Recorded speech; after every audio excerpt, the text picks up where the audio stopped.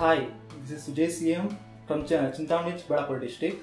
Currently, I am working as security consultant, but that's not of my interest. Hence, I plan to switch over my career to embedded systems. So, I joined the Emertxe Information Technologies, and there uh, the course is similar to a workshop based because it would be a weekend weekend so it's similar to a workshop and the, when you come to the mentor side the mentors are very friendly and their industry experience has become very handy to be frank it has become very handy to gain the concepts and the hands-on experience. Because their hands-on experience because they have industry experience their hands-on experience will gain will transfer to us.